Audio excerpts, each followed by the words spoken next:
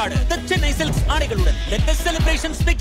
நடிகர் யாஷ் தன்னுடைய ரசிகர்களுக்கு இப்போ ஒரு மிகப்பெரிய சர்ப்ரைஸை கொடுத்துருக்காரு. ஸோ அவர் ரசிகர்கள் இந்த ஒரு விஷயத்தை கொண்டாடிட்டு இருக்காங்க. அது என்ன அப்படிங்கிறது தான் இப்போ இந்த வீடியோவில் நாம் பார்க்க போகிறோம் கேஜிஎஃப் படம் மூலமாக இந்தியா முழுக்க ஒரு பேன் இண்டியா ஸ்டாராக மாறினவர் தான் நடிகர் யாஷ். அதுக்கு முன்னாடி பல படங்கள் பல அவமானங்கள் சீரியல் அப்படி இப்படின்ட்டு கொஞ்சம் இருந்தாலும் கேஜிஎஃப் அவருடைய வாழ்க்கையில் ஒரு மிகப்பெரிய திருப்புமுனையாக மாறிச்சு.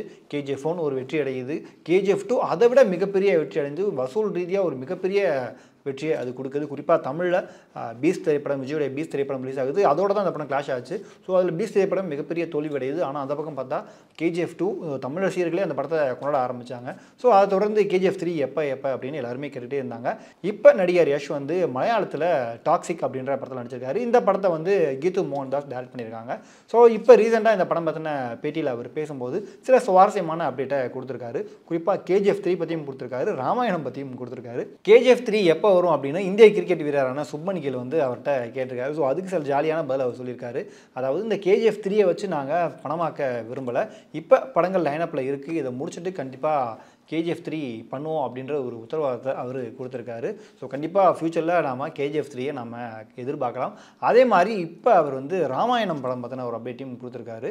அதாவது ஒரு பேச்சுவார்த்தையில் இருந்தது. அதாவது அரசல் புரசலாக இவர் வந்து ராமாயணத்தில் நடிக்க போகிறாரு அப்படின்ற மாதிரி தகவல் வந்துகிட்டே இருந்தது.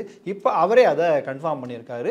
நிதிஷ் திவாரி டேரக்ட் பண்ணுற அந்த படத்தில் யஷ் ராவணனா நடிக்கிறாராம் ஸோ அதில் ரன்வீர் கபூர் தான் ராமனா நடிக்கிறாரு. சாய் பல்லவி அதில் சீதாவாக நடிக்கிறாங்க.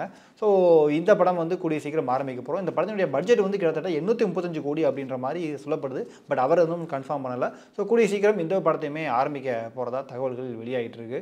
ஸோ நடிகர் ரேஷனுடைய ரசிகர்களுக்கு இந்த ஒரு அப்டேட்ஸ் வந்து ஒரு செம குஷியை கொடுத்துருக்கு.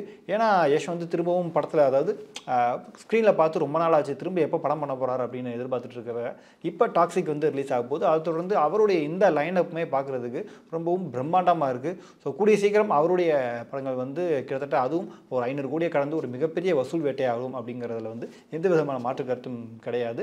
இதுக்கு முன்னாடி வந்து அவர் டாக் ராவணனா நடிப்பாரா அப்படின்னு கேள்விகள்லாம் வந்தது.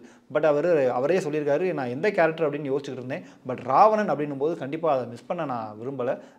ராவணன் வந்து அதாவது இந்த இந்த ஒரு விஷயம் மூலமாக ராமாயணத்தை நான் திரும்பவும் பார்க்குறேன் நிறைய விஷயங்கள் நான் தெரிஞ்சுக்கிறேன் அப்படின்ட்டு ரொம்பவும் ஜாலியாக ஓப்பனாகவே அந்த ஒரு பேட்டியில் அவர் சொல்லியிருக்காரு. ஸோ இந்த ஒரு விஷயம் தான் இப்போ இன்டர்நெட்டில் பயங்கர தீயாக பரவிட்டுருக்கு ஏற்கனவே இந்த டாக்ஸிக் திரைப்படத்தினுடைய போஸ்டர் ட்ரெய்லருக்குலாம் ஒரு நல்ல ரெஸ்பான்ஸ் ஆடியன்ஸ் மத்தியில் இருந்தது.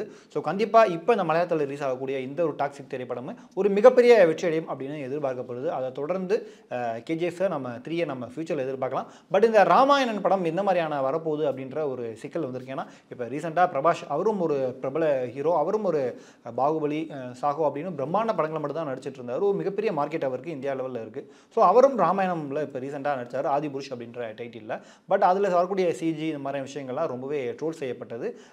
படமும் குழந்தைங்க பார்க்குற மாதிரி தான் இருக்குது அப்படின்ற மாதிரி கொஞ்சம் நெகட்டிவான விமர்சனங்களை நம்ம பார்க்க முடிஞ்சது. நிறைய எதிர்ப்புகளும் அந்த படத்துக்கு வந்துச்சு. அதை தொடர்ந்து இப்போ ஒரு மாஸ் ஹீரோவாக பேன் இந்தியா ஹீரோவாக கொண்டாடக்கூடிய யஷும் இப்போ ராமாயணன் படத்தில் நடிக்கிறது சரியாக இருக்குமா அப்படின்ற ஒரு விவாதமும் ரசிகர்கள் மத்தியில் கிளம்பியிருக்கு. ஸோ நம்ம பொறுத்திருந்து பார்ப்போம் இந்த திரைப்படங்கள் எப்படி வரப்போகுது அப்படிங்கிறத.